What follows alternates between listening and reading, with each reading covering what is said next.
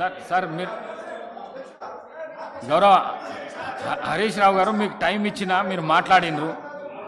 Conclude చేసేసేయండి.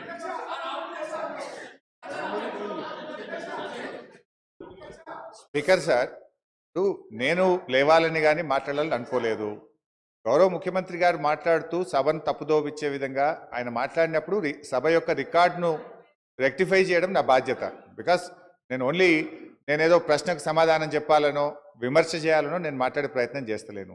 వారు మాట్లాడినారు కనుక మేము డెఫినెట్గా దాన్ని క్లారిఫై చేయడం మా బాధ్యత అధ్యక్ష. అయితే అధ్యక్ష ఆ రోజు కామన్ మినిమం ప్రోగ్రాంలో కేసీఆర్ గారు పెట్టించడమే కాదు షిప్పింగ్ పోర్ట్ఫోలియో అడగకుండానే ఇచ్చారు.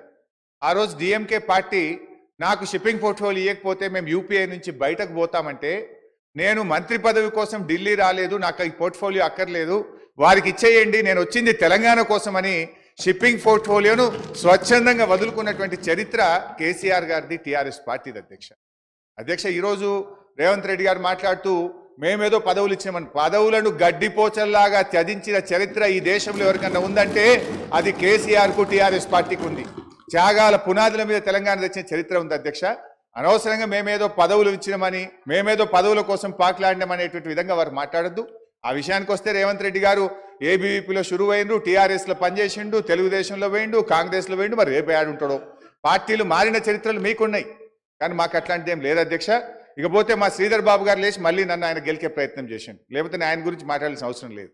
అధ్యక్ష ఆ రోజు ఇదే శాసనసభలో కిరణ్ కుమార్ రెడ్డి గారు ముఖ్యమంత్రిగా ఉన్నప్పుడు నీ తెలంగాణకు నీకు ఒక్క రూపాయి అన్నాడు పేగులు దాకా కొట్లాడింది ఎవరు పెదవులు మూసింది ఎవరో కూడా ఈ రాష్ట్ర ప్రజలకు గుర్తున్నది అధ్యక్ష. ఉన్నారు ఇవాళ ఇక్కడ చాలా మంది ఆ రోజు ఉన్న వాళ్ళు కూడా ఇక్కడ ఉన్నారు. ఆ రోజు మేము పేగులు దిగదాకా పోడియంలోకి పోయి కొట్లాడినాము.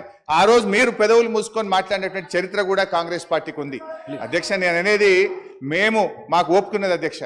దయచేసి మీరు మా మీద విమర్శలు మాని ప్రజలు మీకు అధికారం ఇచ్చారు మీకు అవకాశం ఇచ్చారు. మీరు మీరు ప్రజలకిచ్చిన ఆ గ్యారంటీలు ఎలా అమలు చేస్తారో దాని మీద దృష్టి పెట్టే ప్రయత్నం చేయండి. దానికి నిర్మాణాత్మకమైన ప్రతిపక్షంగా మేము సహకరిస్తాం సూచనలు ఇస్తాం.